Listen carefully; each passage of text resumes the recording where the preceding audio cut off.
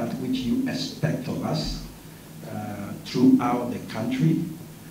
And uh, we have come along with every document that is necessary to qualify Dr. Hassan Ayariga and the All People's Congress to contest the 2024 general election. And uh, we are here to submit our file to you that you can go through. Thank you. Thank you, Mordecai. Madam Chair.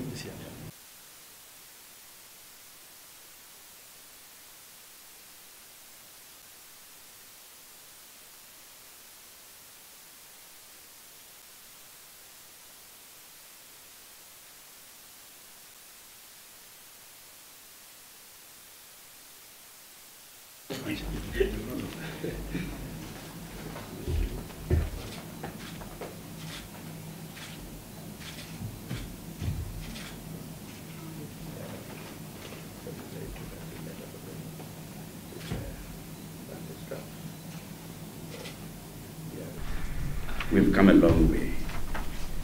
And I'm happy to say that the current EC has made a lot of reforms with regard to our election processes.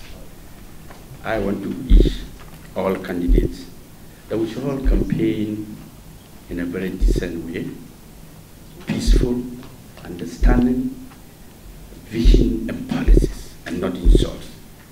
We have only one Ghana to protect. And as a matter of fact, all of us need to do everything to protect this nation. Elections will come and go, leaders will come and go, but Ghana will still remain Ghana. And I, I have confidence in the Electoral Commission.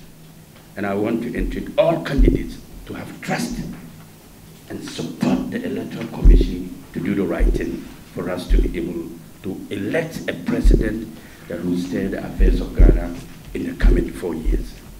So I wish every Ghanaian well, and I wish that all the political parties would support Madame Jean Mensa and all other electoral uh, commissioners and their members across Ghana for us to have a very peaceful, transparent, and a credible election. May God grant us peace and long life. May God continue to bless our homeland Ghana. Thank you very much.